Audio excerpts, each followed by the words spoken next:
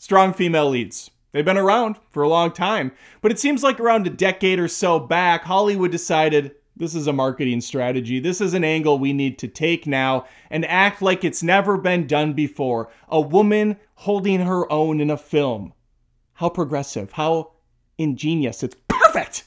Well, today I'm going to cover this a little bit, talk about why they've been making some bad decisions as of late, and how they can course correct. It's really not that hard. In fact, they were already doing it before. Let's rant.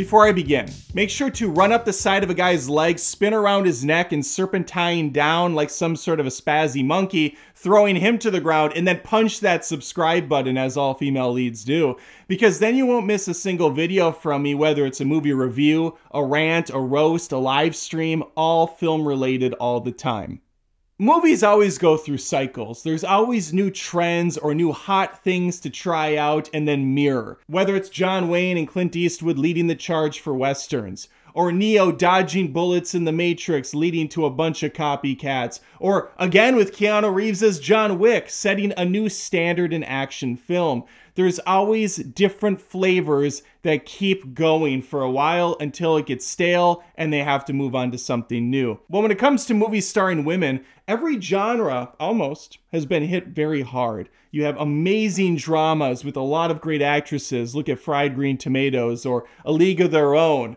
Erin Brockovich, ready to Aaron choke a bitch if you get in her way. Julia Roberts is a powerhouse. Thelma and Louise taking matters into their own hands and their lives. Musicals like Grease, Hairspray, or more recently La La Land continue to impress and showcase female talent. All bases were pretty equally covered. Hell, even horror movies you can argue women dominate in, not so much as the antagonist, but certainly as a protagonist. Oftentimes they're sexualized, sure, but they're still there, they're still getting the job done. Neve Campbell narrowly escaping the ghost face killer several times over. One of the queens of Scream, Jamie Lee Curtis, has been kicking Michael Myers' ass for like three decades now. The woman just won't die. The character, not the actress. I hope Jamie Lee Curtis outlives me. Strong female leads that continuously knock it out of the park. Kristen Bell, never not working. I've seen her like a billion different things, and she's always delightful. She's always sharp, witty, funny, and on point with her comedic timing.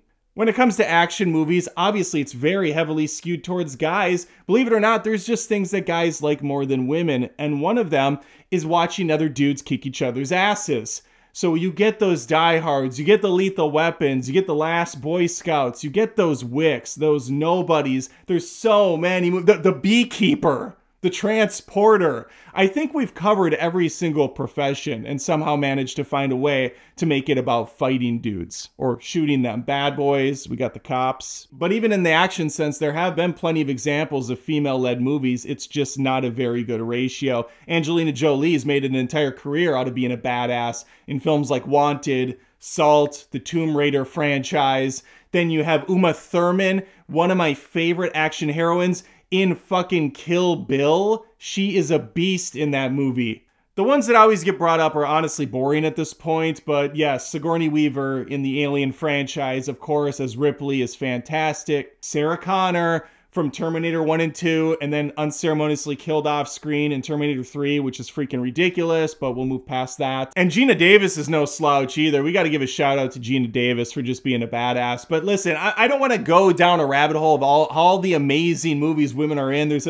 I can't count them, I can't list them all. They, they are a broad spectrum of films. But the point of this video is to talk about how stupid the marketing has been and the writing of modern action heroes in the female space because they're trying so desperately to make it a thing. They're trying to make fetch happen in a genre dominated by men. Why? I don't honestly know.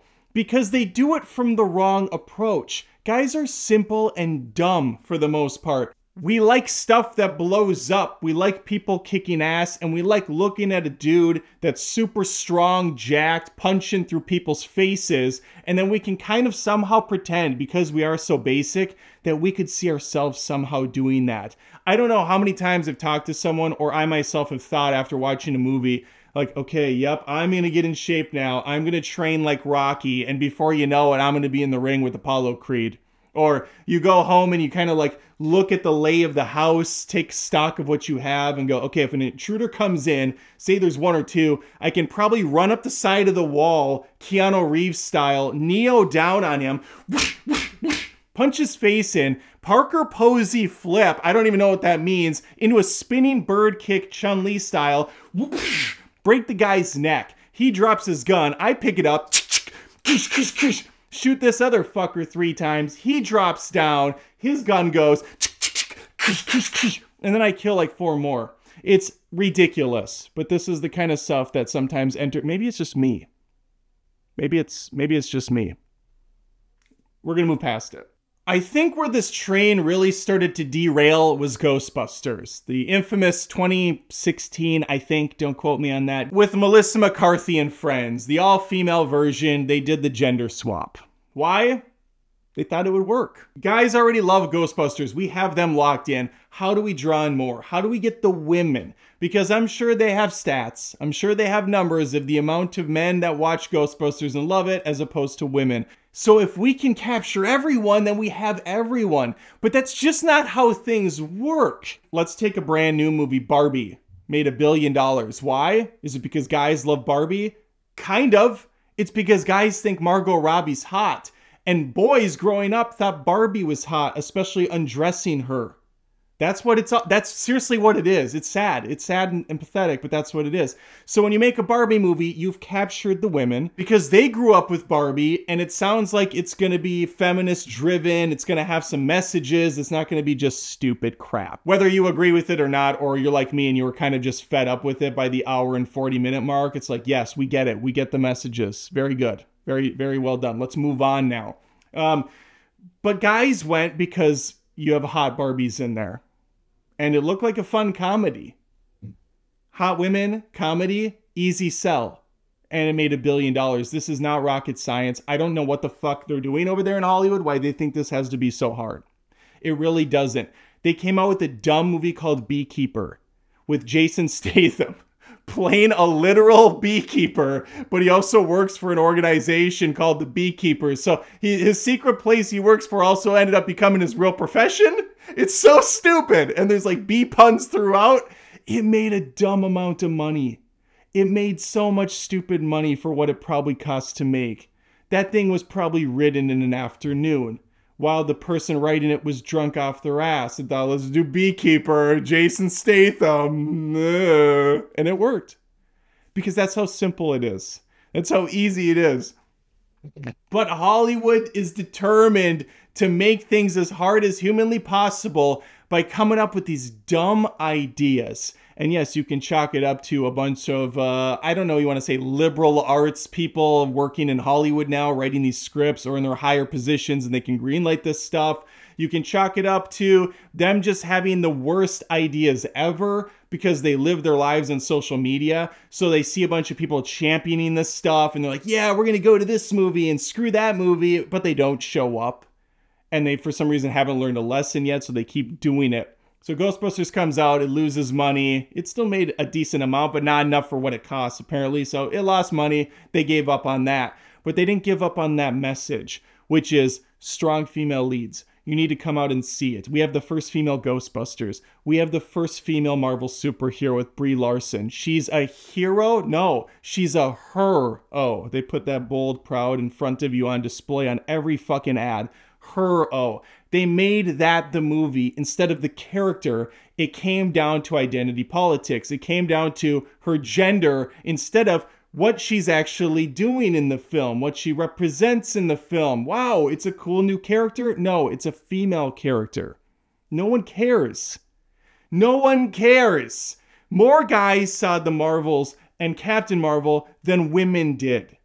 So the marketing doesn't work. And keep in mind, Captain Marvel did incredibly well, and it was entirely because of where that movie was wedged between Infinity War and Endgame. And if you don't believe me, look at the numbers the Marvels did. It made so little money, not only is it not getting a sequel, but I believe it was the lowest grossing movie in MCU history now. Look at Gal Gadot as Wonder Woman. You are getting guys into the seats because it's freaking Wonder Woman and she looks amazing and she's kicking ass.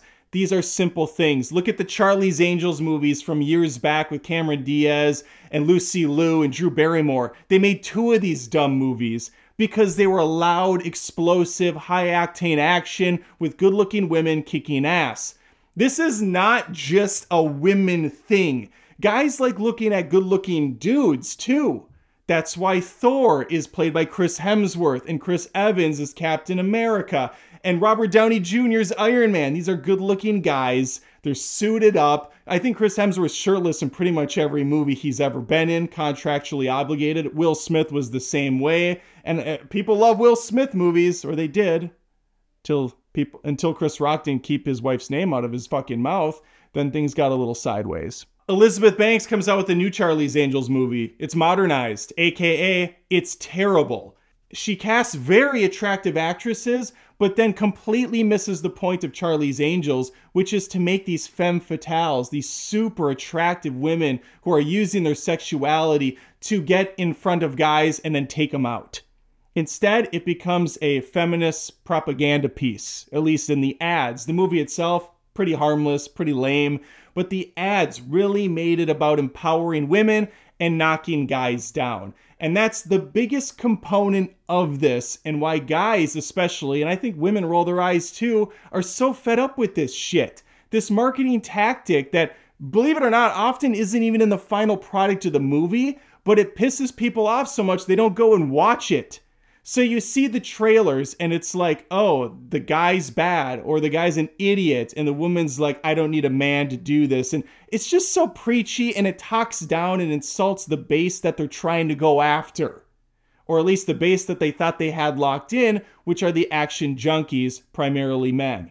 Star Wars comes out with Rey. The Force Awakens pretty well received. I would say the majority of people really liked it. There was people that hated it, of course, but then Last Jedi comes out, spits in the face of I would say half of the the fans, maybe more, maybe less. Uh, it's got to be at least half.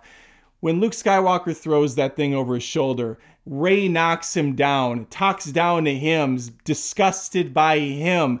It's spitting in the face of the fans. Too many, too many. I was upset with it for a myriad of reasons beyond that. But taking Rey at face value, she's a street rat from some desert planet who doesn't know her parents, yet she can fly a Millennium Falcon perfectly. She knows the Force pretty perfectly already. Has no real growth to this character at all. They have no idea what to do with her. So they have to keep pushing this shrouded past element because she's already mastered pretty much everything else. It's boring, it's lame, it gives Daisy Ridley absolutely nothing to work with, and I thought she was great. It's just the character sucks. Poorly written. There's been a lot of movies that have also gender swapped males to females, basically because they don't know what to do with the property. They have no interesting story to tell. So they just do a gender swap and they call it a day. Like, oh, okay, now Doctor Who's a woman. Now we can go a different route with things in the story. Instead of what women want, let's do what men want. Instead of Ocean's 11, let's do Ocean's 8. And then it's going to be women this time. They also put them in movies where they sideline the main male protagonist. I'm looking at you, Indiana Jones 5. They'll then take it further and they'll, for some reason, attach a secondary characteristic to this woman so they can check a box, tip the hat to their audience, and say, listen, not only is this woman along for the ride, she's also gay. You're welcome. What's the point of that? Eh, it just it's just there. It's just the thing now it's not actually to have anything to do with the rest of the story. It's never really to get brought up again. It's not to have it like a female love interest that's to come along that she's going to have to help. It's just there. We're putting it out there, and that's that. Now, where I may differ from some is I don't really care that much if I'm watching a movie with action heroes like Kate, for instance, or even Harley Quinn, the emancipation of whatever that stupid Birds of Prey thing's called and they're beating up a bunch of guys that are twice their size. Uh, they're a lot bigger looking than them, and you have this skinny 90 pound woman soaking wet, kicking the shit out of a whole gang of them. That doesn't really bother me. I know some people are like, oh, yeah, right, like this person could ever take out this group of people. It's all fantasy at the end of the day. As long as the movie gives me a reason to at least get on board with this character, if they come from a background of like a CIA operative or special forces or something, good enough. She's got some training, we we can get invested or she's got a superpower or something like that. Fine. Because I look at a movie like John Wick. We're on the fourth John. We're on the fifth John Wick if it ever if it comes out if it gets made. But is, keep in mind there's four of these. This dude Keanu Reeves is what 50? He's in his 50s now. Is he 60? I don't fucking know. He's old though. He's old to take out like a thousand guys. He's shot multiple times. He's hit by several cars just in one movie alone. The guy has been through hell and back, and I am supposed to believe that he can handle his own in a room full of people? No, it's ridiculous. And I love Keanu Reeves and I love the John Wick movies, but that's absurd to be like, oh, this little girl taking these guys out, that's too much. But my guy John Wick over here, he could easily do it. He get this spry young 50 some year old, he can easily handle all these young guys with Kevlar vests and whatnot. I mean, come on. It's it, at the end of the day, it's all fantasy, it's all silly nonsense. In reality, John Wick would probably have been killed by the fourth dude he came into contact with because he'd get shot in the face. End of discussion. All things aside, there's definitely been a disgusting trend in Hollywood over the last decade to make all the men evil, prop women up. And no, it's not across the board. And there can still be movies that do that and they're not, you know, so called woke or have an agenda. They're just, that's what the movie is. I just saw one actually where it's two lesbian women. The guys are all dirtbags in the movie. To, but, but to be fair, pretty much everyone in the movie is a dirtbag. It's the new movie by A24, Love Lies Bleeding. I thought it was a good movie. It was actually really good until it kind of falls apart in the final act. But still, for the most part, very, very interesting film to watch. So even if it has all the tropes, all the cliches, all the basic formula, it can still be good. It can still be fun to watch. It doesn't have to be yelled at and shamed. You can still get entertainment out of this stuff because again, it's all trends all the time. Hollywood's not that creative. If one thing works, they will continue to hit that thing until it doesn't. And no, we cannot look at some of this stuff and say it didn't work. Why are you still doing this over there? It's not always one to one because if that was the case, Barbie should have lost money. It should have gone like negative dollars because that movie's more woke than anything else on the planet. But the fact remains that you have to sell to the right audience. Hot leads, check. Nostalgia bait, check. Comedy, check. It has all the things it needs to drive in a big audience.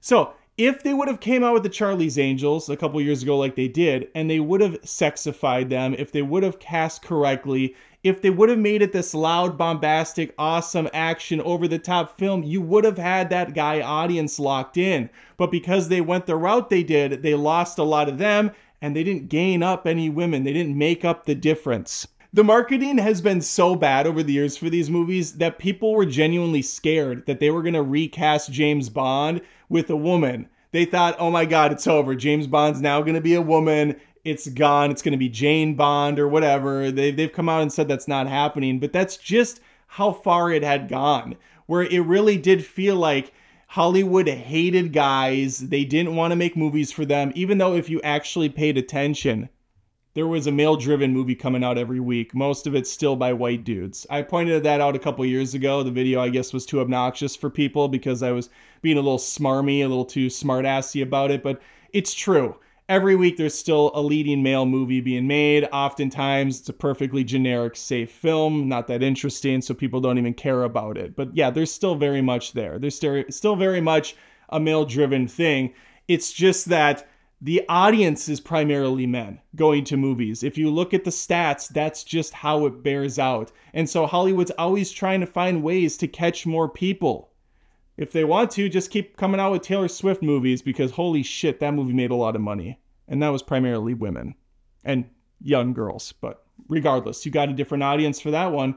You got it with Barbie. So maybe there will be a new trend going forward where they're going to figure out a new formula. They're going to get out the Bunsen burner and start mixing concoctions, and they'll go, all right, we got a new thing figured out. It's going to work this time. It remains to be seen. But let me know your thoughts on all of this. Have I hit on some things you've been thinking about? Have I touched on them but not gone far enough? Let me know. Like the video if you want. Please subscribe if you haven't. I post tons of movie reviews, rants, roasts, all that stuff every week. It's all movies all the time.